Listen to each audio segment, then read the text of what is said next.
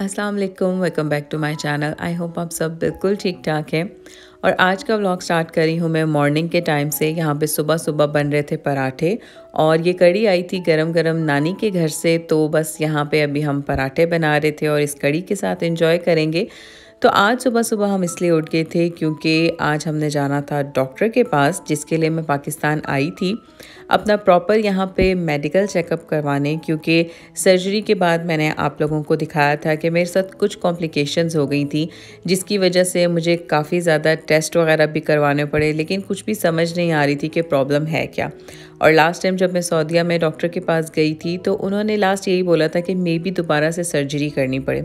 जिसकी वजह से हम लोग काफ़ी परेशान थे और हमने यही सोचा था कि हम पाकिस्तान में अब अपना प्रॉपर चेकअप करवाएँगे।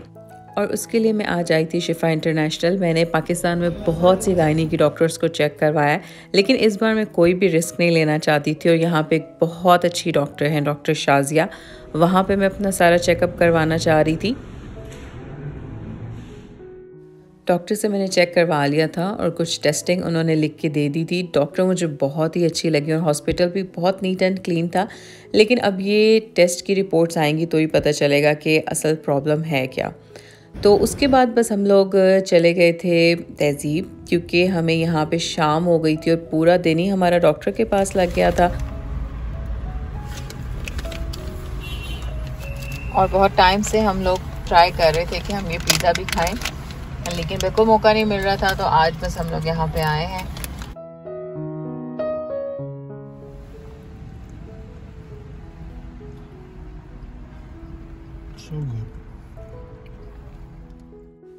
और ये अब नेक्स्ट डे का क्लिप है और आज हम जा रहे थे डॉक्टर के पास, क्योंकि आज मेरी अल्ट्रासाउंड और कुछ टेस्ट की रिपोर्ट आनी थी। डॉक्टर ने मुझे वैसे भी एग्ज़ामिन किया था और मे भी वो सोच रही थी कि शायद ये हर्निया हो लेकिन आफ्टर सर्जरी कभी कभार हर्नियाज भी हो जाती हैं, लेकिन ऐसा कुछ नहीं था।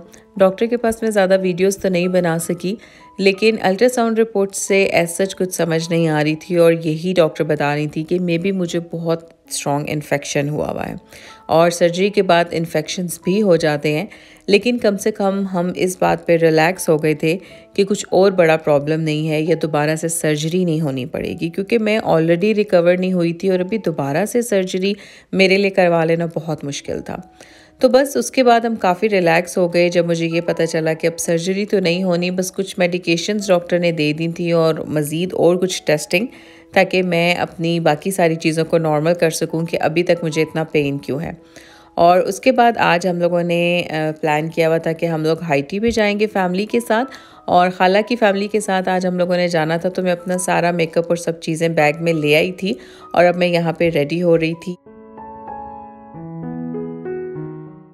High tea plus lunch buffet आज हम लोगों ने करना था मनाल डाउनटाउन का और हमें इसका लंच बुफ़े वैसे भी बहुत पसंद है और बहुत ही अच्छा टेस्ट होता है इनका, लेकिन प्राइसेस इनकी काफ़ी चेंज हो गई थी और मेन्यू में भी इन्होंने थोड़ी सी चेंजेस कर दी थी।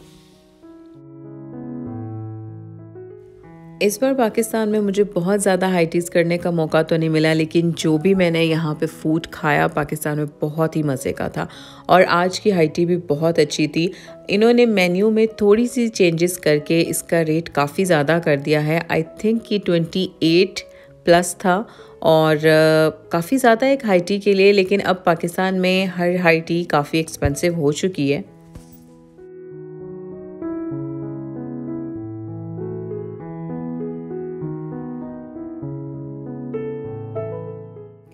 हमारी फैमिली ने आने में तो काफ़ी देर लगा दी, तब तक हम अपना फ़ूड स्टार्ट कर चुके थे और स्वीट्स में मैं आपको दिखा देती हूँ अच्छा वैरायटी बहुत ज़्यादा थी और टेस्ट भी बहुत अच्छा था।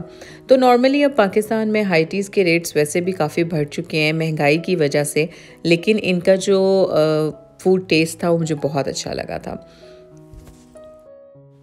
हाईटी के बाद हम लोग आ गए थे गीगा मॉल और यहाँ पे मुझे गुल अहमद से कुछ बेड शीट्स और कंफर्टर लेना था। वैसे तो मैं राबी सेंटर और नॉर्मल शॉप से ही कंफर्टर लेती थी, लेकिन वो काफ़ी ज़्यादा ख़राब हो जाते थे तो मैंने सोचा कि इस बार मैं गुल अहमद का लेके ट्राई करती हूँ। इसका भी फुल रिव्यू मैं आपको रियाद जा के दूँगी कि ये कैसा सा कम्फर्टर था।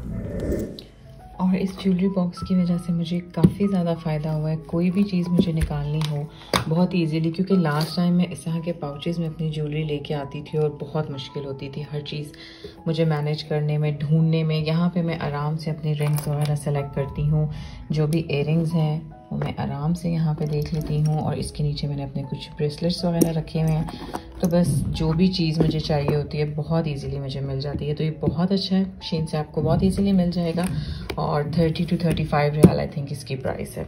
तो अभी आज के लिए मैंने ये जो मैंने उस दिन ब्रेसलेट लिया था, ये मैंने वो लिया है डिसाइड किया है और साथ ये वाले मैं सोच रही हूँ कि इयर पहन जाऊँ। ये मेरे ड्रेस से थोड़े मैच हो रहे हैं और साथ अपना ये वाला नेकलेस पहन के जाऊँगी मैं। और ये जो मैंने वॉच की यहाँ पे मुझे उस तरह से इतनी ज़रूरत नहीं होती, मेरा दिल नहीं करता, लेकिन मैं ब्रेसलेट्स वगैरह यहाँ काफ़ी पहन लेती हूँ। तो ये कुछ चीज़ें हैं जो कि मैंने अपने आज के ट्रिप के लिए डिसाइड की हैं।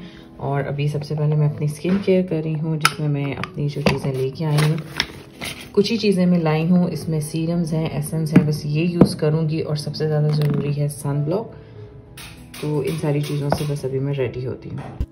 पाकिस्तान, इस बार हम लोग बहुत ही कम टाइम के लिए आए थे और मैंने आप लोगों को बताया था अपनी वीडियोस में कि हम लोगों ने डिसाइड यही किया था कि अगर तो मुझे मेडिकल के लिए रुकना पड़ गया तो मैं पाकिस्तान रुक जाऊँगी। लेकिन क्योंकि अब मेडिकल की तरफ़ से ये बात तो क्लियर थी कि मुझे किसी सर्जरी की ज़रूरत नहीं है, सिर्फ़ थोड़ी सी मेडिकेशंस की ज़रूरत है तो इस वजह से हम काफ़ी रिलैक्स हो गए, अब अपने बाकी प्लान्स कर रहे थे। और आज खाला ने बुलाया हुआ था हमें चाय पे। पाकिस्तान में टाइम इस दफ़ा बहुत ही तेज़ी से गुजर रहा था और जब आपके दिन कम होते हैं तो आपके लिए मैनेज करना बहुत ही मुश्किल हो जाता है।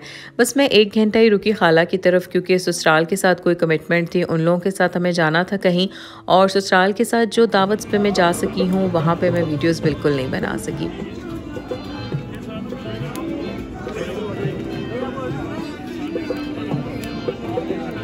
और उसके बाद हम लोग अपने फेवरेट स्पॉट पे आ गए थे चाय पीने। आई होप कि मेरी आज की वीडियो भी आप लोगों को अच्छी लगी होगी। थैंक्स फॉर वॉचिंग अल्लाह हाफिज़।